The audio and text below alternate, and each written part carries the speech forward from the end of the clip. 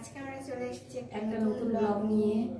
তো আজকে আমি যে ব্লগটা তোমাদের সাথে শেয়ার করছি সেটা হলো চুল মানে আমাদের যে গরমকাল আসলে পরে মাথায় প্রচণ্ড পরিমাণে ঘাম হয় তো যখন চুলের গোড়াটা নরম হয়ে যায় চুল খুব আমাদের উঠতে শুরু করে। তো এর তিন মাস আগে আমার মেয়ে টাইফয়েড জ্বর হয়েছিল তো এই জ্বরের ক্ষেত্রে মেয়ের অনেক চুল উঠে ঝরে গেছে। তো এখন তো বড় হয়ে গেছে ন্যাড়াও হওয়া যাবে না তাই আমি ঘরোয়া পদ্ধতিতে কিছু জিনিস দিয়ে সেগুলো তুমি তোমার আশেপাশেই পাবে।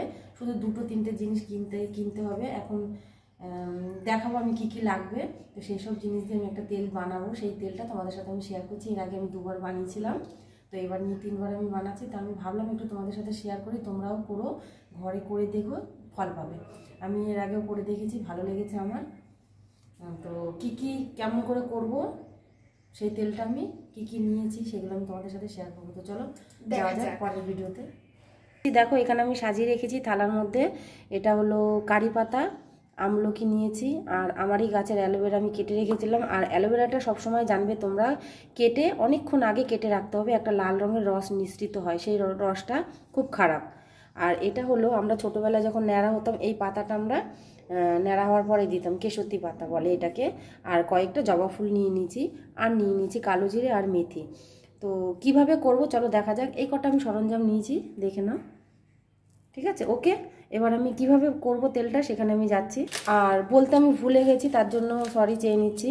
আর দুখানা পেঁয়াজও লাগবে, পেঁয়াজটা রাখতে আমি ভুলে গেছি, দুখানা পেঁয়াজ রাখবে। তো এ কটা জিনিস দিয়ে আমি তেলটা বানাবো। আর কি তেল দিয়ে বানাবো সেটা তো অবশ্যই বলব। তো তেলটা আমি দেখিয়ে দিচ্ছি। কোকোনাট অয়েল এই তেলটা এটা আমি দুটো নিয়ে নিয়েছি। একবারে বেশি করে সচরাচর তো বানানো হয় না, তাই আমি ভাবলাম এটা একটু দুটো বেশি করেই বানাবো অনেক দিন যাবে এই তেলটা। দুখানা বোতল আমি নিয়ে নিয়েছি। ঠিক আছে? এইগুলোকে ছোট ছোট পিস পিস করে নেব। কীভাবে কেমন করে কাটতে হবে, পেঁয়াজগুলোকে কাটবো ছোট ছোট করে। আমলকিটা কাটবো আর অ্যালোভেরাটা কীভাবে কেটে নিতে হবে সেটাও আমি তোমাদেরকে দেখাবো। তো চলো এগুলো আগে কেটে নিই, তারপরে আমি এটা তেলটা তৈরি করব, তখন বলব। দেখো, আমি অ্যালোভেরাটা কেটে নিয়েছি, সাইডের কাঁটাটা সরিয়ে কারি পাতাও কেটে নিয়েছি, ছোট ছোট করে আমলকিও কেটে নিয়েছি। আর জবা ফুলগুলো দেখো, সবুজ বিন্দুটা, মাঝখানের বিন্দুটা সরিয়ে এইভাবে পাপ পাপড়িগুলো আর যে কেশুতি পাতাটা নিয়েছিলাম, ওগুলো ছোট ছোট পিস করে নিয়েছি।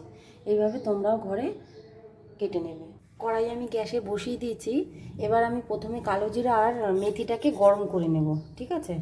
তো দেখো এটার মধ্যে আছে, আমি দিয়ে দিলাম, কড়াইটা গরম হয়ে গেছে। এবার একটু গরম হয়ে গেলে এটা একটু শিলে পিষে নেব। পিষে নিয়ে দিলে পরে কি ভালো হবে জিনিসটা। ভাজা হয়ে গেছে, কি সুন্দর একটা গন্ধ ছাড়ছে। এবার আমি এটাকে একটু গুঁড়ো করে নেব, হালকা পিষে নেব মানে পুরো মিহি করব না। এটার মধ্যে একটু গুঁড়ো করে নেব, জাস্ট থ্যাতো করে নেব। তো এবার তেলটা আমি দিয়ে দেবো। তেলটা পুরো দেওয়া হয়ে গেছে, এবার একটু গরম হলে পরে প্রত্যেকটা জিনিস আমি আস্তে আস্তে দেবো। তো এবার আমি এইগুলো এক এক করে দেবো, তেলটার মধ্যে তেল গরম হয়ে গেছে।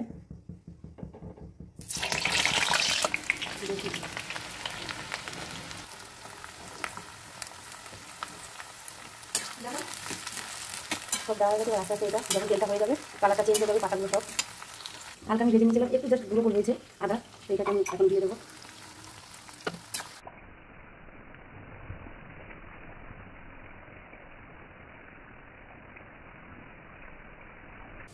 তো চলো দেখো পাতাগুলো কেমন লাল হয়ে গেছে, তেলটা রেডি হয়ে গেছে। দেখো তেলের কালারটা পুরো চেঞ্জ হয়ে গেছে কালার হয়ে গেছে, খুব বেরাচ্ছে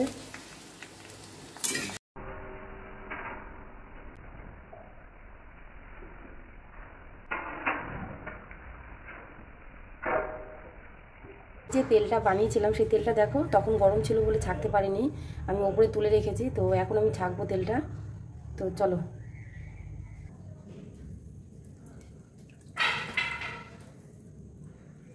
খুবই সুন্দর এসছে একটা কালারটা।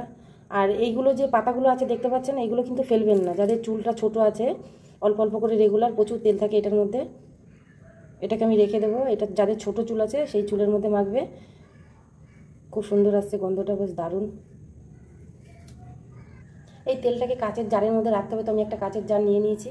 আর এই যে পাতা ছিলকাগুলো যে দেখতে পাচ্ছ, এটাকে অনেকক্ষণ রাখবে। দেখো, নিচে আস্তে আস্তে তেল টপ টপ করে পড়ছে। এটার মধ্যে অনেক তেল রয়েছে, চুলে মাখা যাবে। আর যে তেলটা বেরিয়েছে, দেখো, কালারটা কত সুন্দর এসেছে একটা। এই তেলটাকে আমি একটা কাঁচের বয়মে রাখব কি, তেলটা অনেক দিন ভালো থাকবে, এই কারণে কাঁচের বয়মে রাখা। কতটা তেল নিয়েছিলাম আমি, দেখো, জাল দেওয়ার পর এইটুকুনি তেল হয়েছে। তো চলো বন্ধুরা, আমার ভিডিওটা যদি ভালো লাগে লাইক শেয়ার কমেন্ট করতে অবশ্যই ভুলবেন না।